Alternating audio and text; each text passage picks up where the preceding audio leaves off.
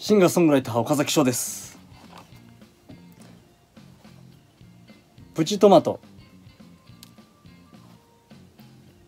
間引きまして抜いてしまったやつが3本あるんですここに。この3本はブロッコリースプラウトみたいにティッシュで育ててやろうかなと今思いつきましたのでこうやってティッシュを引きましてでお水を。入れましょう。お水を入れて。お水を入れまして。これでいけるかしら。これで。と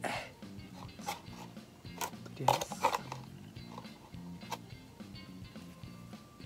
ねこう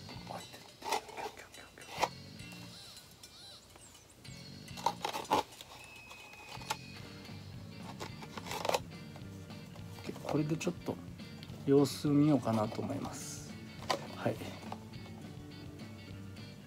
うん。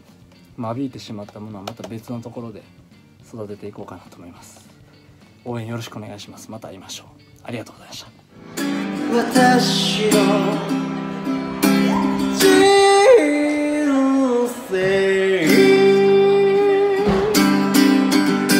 おおありがとうございます。